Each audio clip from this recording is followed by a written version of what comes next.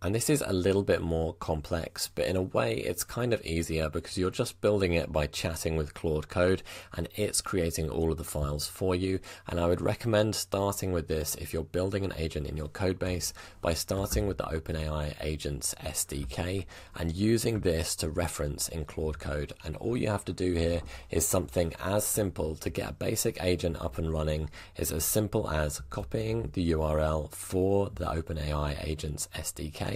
going over to Cursor, creating a new project, and then running Claude Code in that project. So we've got Claude Code up and running now, and just basically asking it to create a simple agent here. So all you have to do when you're in Claude Code here, and you can do this if you're integrating it with an existing code base or starting from scratch, is to just jump over to plan mode and then ask it to create a plan for building an agent and creating an interface so that you can test that agent in your code using the link from the open for the OpenAI SDK and it will help you build that for you. Hey Chris here, just wanted to say if you are building an AI app and you do want to start making a profit or you want to launch it and get real customers, I'm building a community to help people do exactly that. Just go over to skool.com forward slash AI apps to find out more. I'll see you there.